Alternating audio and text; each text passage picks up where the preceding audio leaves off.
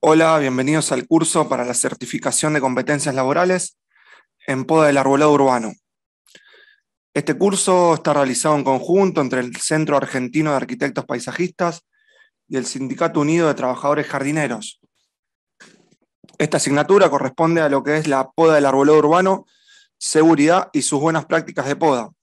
Los profesores a cargo, quien les habla, ingeniero agrónomo Santiago Deguis, Junto conmigo está el ingeniero agrónomo Álvaro González Mausieri.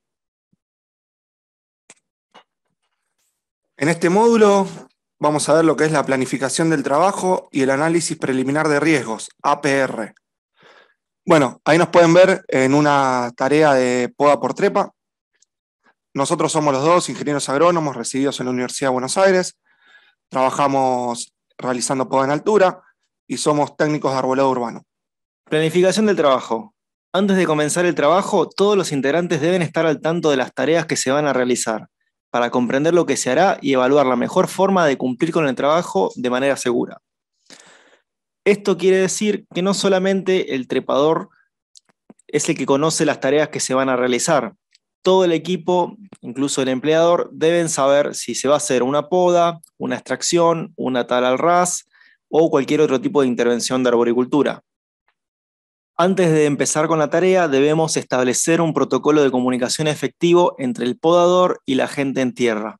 Puede ser por palabras clave, láser, silbatos, etc.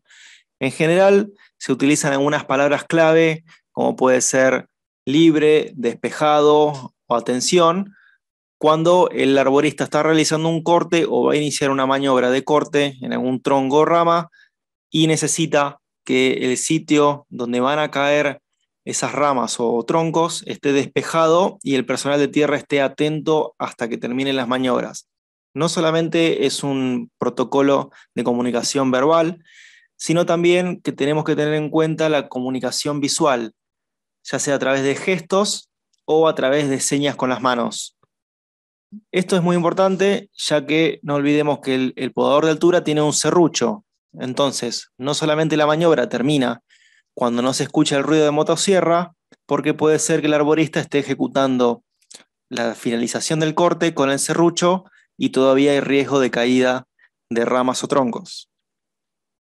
Con un láser, el personal de tierra puede ir señalando algunas circunstancias que el arborista quizás por su posición no pueda ver detrás del fuste o detrás del tronco donde se encuentre trabajando y es una muy buena manera para señalar a distancia estos láser vienen de colores muy visibles y tienen un largo alcance. Análisis preliminar de riesgo. Vamos a abreviar estas palabras con la sigla APR. Consiste en la observación y análisis previa de todos los factores riesgosos a la hora de intervenir en una situación. Es la manera de anticiparse al trabajo que va a ser llevado a cabo, permitiendo identificar los riesgos involucrados en los distintos pasos de las tareas a ejecutar. Con este análisis previo determinamos la factibilidad de evitar riesgos o bien minimizarlos para llevar a cabo el trabajo de forma segura. ¿Qué quiere decir esto? Que no solamente los peligros intrínsecos del árbol, ya sea ahuecamientos, cavidades, caries o algún tipo de enfermedades que nos dificulten la trepa o algunas maniobras para realizar, sino también cómo influye ese peligro en el área de uso o con el factor de uso de ese lugar, teniendo en cuenta también las dianas. que son las dianas? Son aquellos objetos que son pasibles de ser dañados si le cae una rama o un tronco encima. Identificación de peligros y obstáculos. Vamos a nombrar algunos ítems que son de los más regulares y los que podemos encontrar trabajando. La presencia de enredaderas puede representar un peligro. ¿Por qué? Porque muchas de estas enredaderas son muy leñosas y se agarran a los troncos y no permite que terminemos los cortes como los programamos y muchas veces queden esas ramas o troncos colgando y no lleguen al destino que nosotros estábamos deseando. Lo mismo con la presencia de guijones y espinas que nos pueden dañar el material y además dañar nuestro cuerpo. Inclinación del árbol. Determinados grados de inclinación ya son peligrosos para trepar. Esto se determina en tierra. Ramas sueltas o desprendidas y suspendidas tenemos que estar muy atentos a las ramas secas, sobre todo las que están a nivel bajo del dosel, que son las que se sombrean y se secan, y pueden representar un peligro de caída cuando cortamos otra rama. Elementos extraños como hilos de pasacalles, cables, alambres, que pueden dañarnos las cadenas de las motosierras, rompernos las máquinas y además intervenir en un, a mitad de un corte y representarnos un peligro porque tenemos menos margen de maniobra. Fuerza y dirección del viento, cuando son ramas muy largas o muy grandes y tienen muchas hojas, hacen efecto vela y nos pueden cambiar la orientación deseada del corte. Pudriciones, cavidades, oquedades y otros tipos de enfermedades y fallos intrínsecos de cada árbol. Ubicación de conductores eléctricos o cables, ya vamos a ver esto en otro apartado, pero representa un riesgo cuando manipulamos motosierra porque se puede generar un arco eléctrico y eventualmente causarnos la muerte. Limitaciones y relieve del terreno. Cuando estamos en una pendiente, no es lo mismo trabajar en tierra que si estamos en un terreno llano, entonces tenemos que estar capacitados para determinar si podemos hacer ese trabajo o no con el equipo en tierra que tenemos. Identificación de ruta de escape. Si tenemos objetos que no se pueden mover, identificarlos muy bien, saber que están ahí presentes y considerar que por ahí no podemos escapar ante un eventual siniestro. Presencia de plantas venenosas, como la hiedra, como el rus, y presencia de animales. Las plantas venenosas pueden irritarnos la piel, probablemente en el momento no tengamos una reacción inmediata, pero cuando lleguemos a nuestras casas y si no estamos con, la ropa adecuada, vamos a tener una inflamación, una picazón en la y nos puede dificultar las tareas y la recuperación presencia de animales tiene que ver con panales de abejas o de avispas, nidos de aves, presencia de hormigas también. Estabilidad de raíces.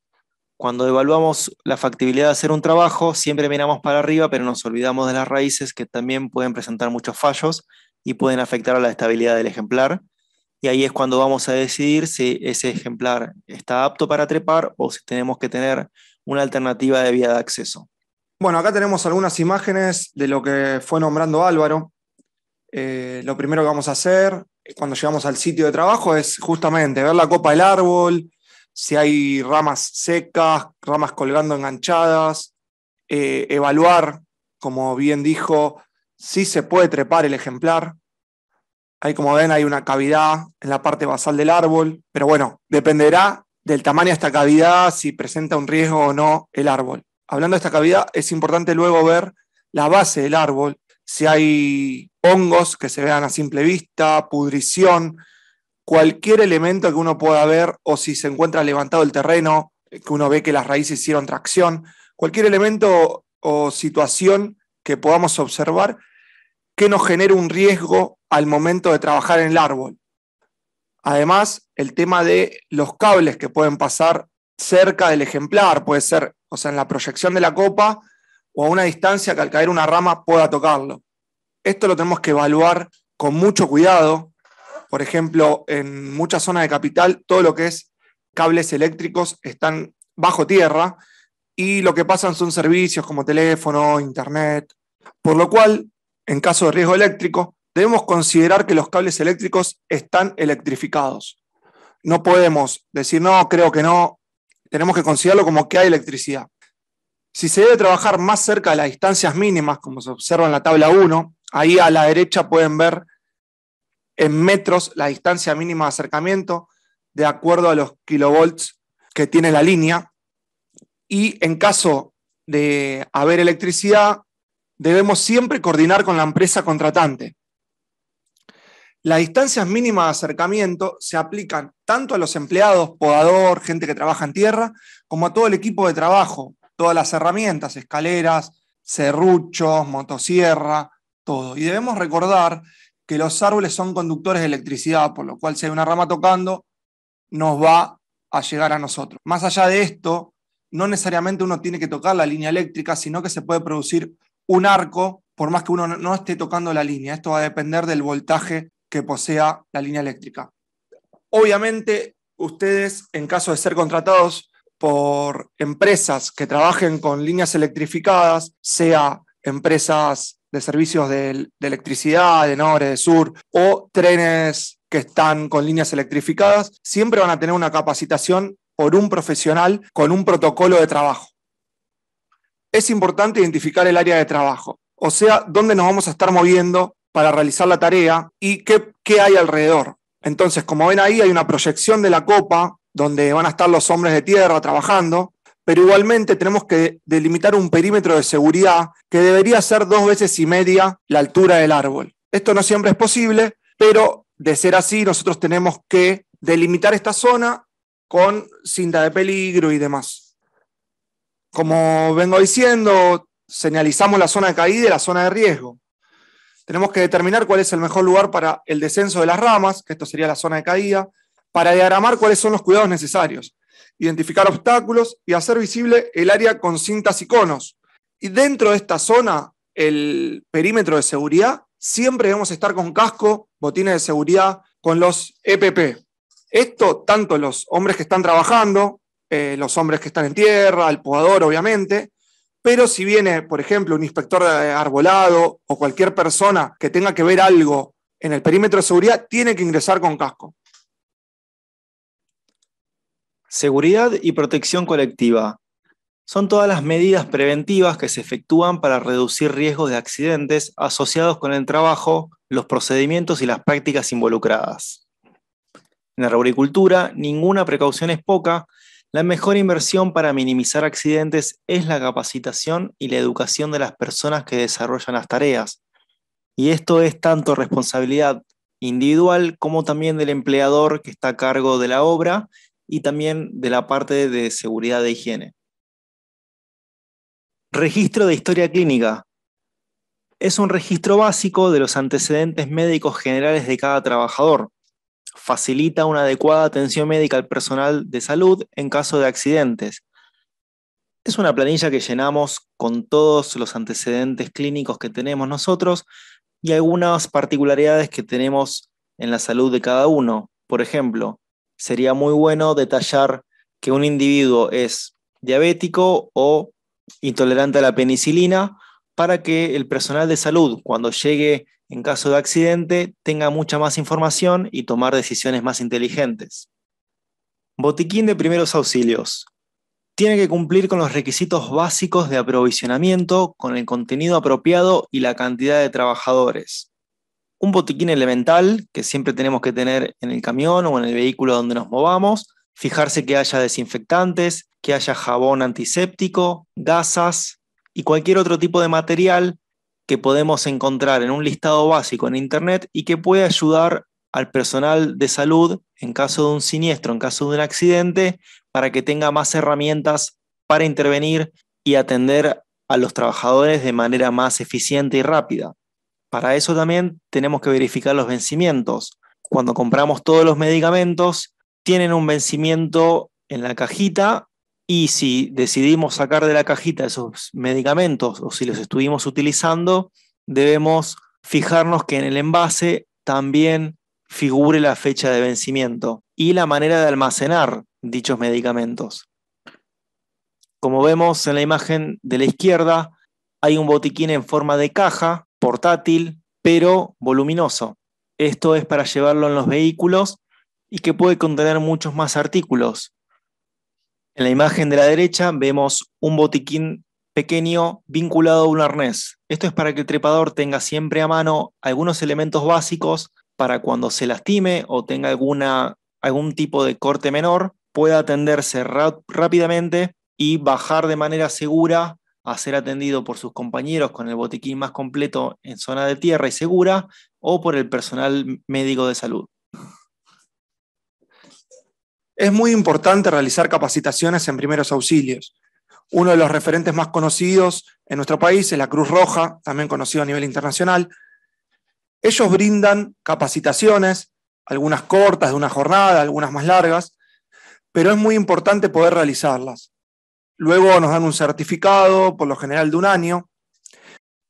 Por lo general las dan en grupos, no sé, de 20 personas, eso depende, pero uno se puede contactar con, colegas y hacerlas en conjunto para, que sea más económico, pero que esto no sea un impedimento para hacer la, la parte monetaria, porque es algo muy importante.